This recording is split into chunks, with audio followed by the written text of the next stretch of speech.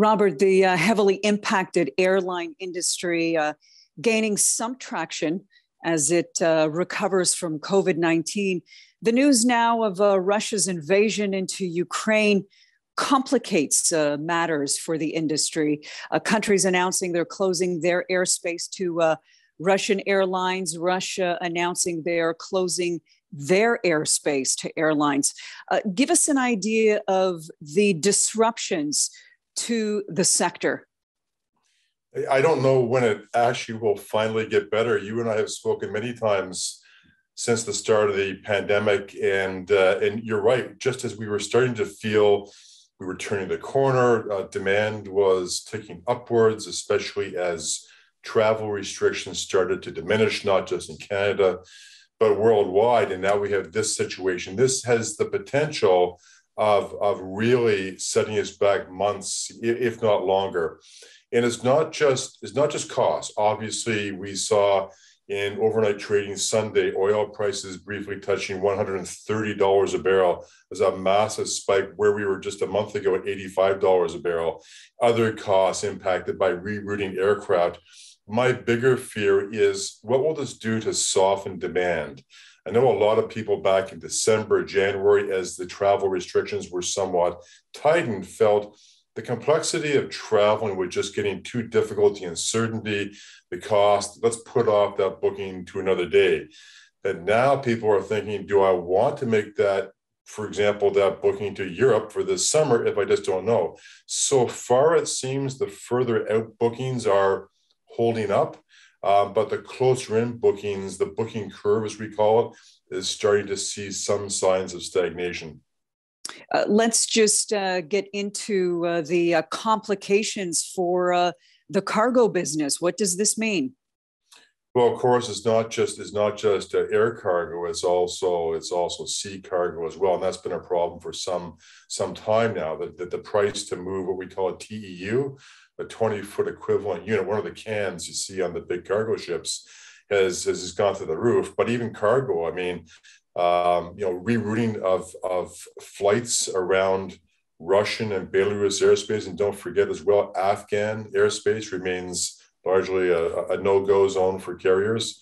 And also the likes of FedEx and DHL and UPS um, have had flights to Russia as well. And there are some key exports from the Russian economy to the West that we're simply not going to be tapping into. So uh, maybe it's a good thing from a price standpoint for the shippers uh, but it is really playing havoc when it comes to supply chain, just in time inventory, some key sectors of the economy that just cannot access parts or supplies they need to have.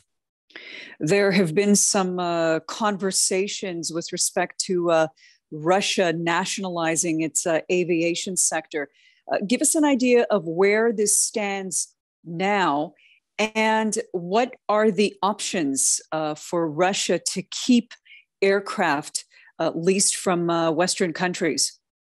Well, what hasn't been been stated that is going to happen for sure, but amongst us in this space, uh, one of my consultants is heavily into asset management. He's at the world's uh, leading aircraft asset um, uh, conference this week in San Diego, and that has been a growing concern. There is over 500 leased aircraft from leading Western uh, lessors in the Russian marketplace, Airbus, Boeing, um, um, Embraer from Brazil.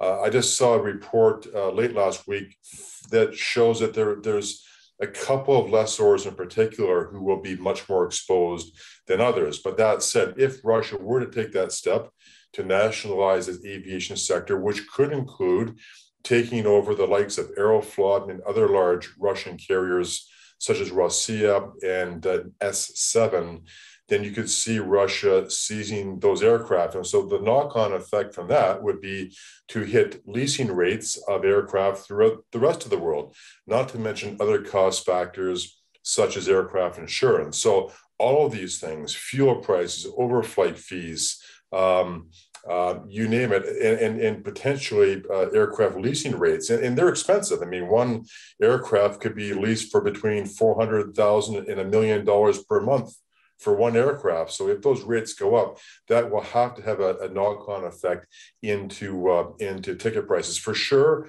fuel prices will manifest themselves in, in international routings into higher carrier fuel surcharges. Let's uh, bring it here at home. How does this affect uh, air carriers like Air Canada? Well, some sectors are, are, are well, all sectors are, are definitely being impacted by fuel prices. Uh, you know, 40% spike in just a few uh, few weeks is tough. Uh, as far as specific routings, I mean, you know, Canada, US, South America, uh, not really being impacted as far as reroutings, even Europe, but as flights like Air Canada's flights, um, Air India as well, from Toronto and Vancouver to Delhi, India, Pakistan International Airways flights from Toronto to Pakistan, and some parts of the routings for our routings to the Middle East hubs that we see carriers flying to, those will definitely be impacted. We're seeing on India rerouting of upwards of an hour and a half or even two hours. And especially on routes like India, where they, where they are generally lower yielding routes, lower ticket prices, an extra one and a half or two hours of operating costs will just simply make those routes unprofitable for the uh, for the near future. Uh, Robert, in your experience, um, uh, when countries close off their airspace, and now you're dealing with rerouting, or I guess the grounding of planes, give us an idea of some of the the factors or some of the things that go through your mind. Well, you know, certainly rerouting is is is is up there, and, and aside from the time inconvenience, the cost piece um, at, at, a time as you we started this this uh, discussion about how badly aviation has been affected. There's no other sector in the economy, I believe, that's been as badly impacted as aviation, where we went from full on to you know zero demand or close to zero demand in a very short space of time. So you know our balance sheets were already stressed and to potentially have a, a higher cash burn situation uh, along with lower demand on some routes is, is something we simply do not uh, want to see. And potentially we could see some aircraft grounded if demand were to fall that much our concern about the reroutings is if this situation with Russia is not a short term situation as measured in months, but maybe one, two, or more years, that will have just devastating uh, consequences for some airlines in some parts of the world. Um, and I might say, as well, as bad as this news is, it's time for Canada's federal government to finally get rid of the remaining travel restrictions. We need some good news there somewhere. And changing the pre departure testing from a PCR test to rapid test is very difficult because either travelers cannot find the test or they cannot find a medical official in front of which they have to conduct this test. So there's just no sense. I can go and see a hockey game with 18,000 people, and none of those people are being tested. Why we continue to do so in the aviation and travel sector makes no space sense. So with these spikes in travel costs from fuel, reroutings, impacts and demand, the federal government at the minimum could commit to do the right thing and that's to lift all testing requirements for travel immediately.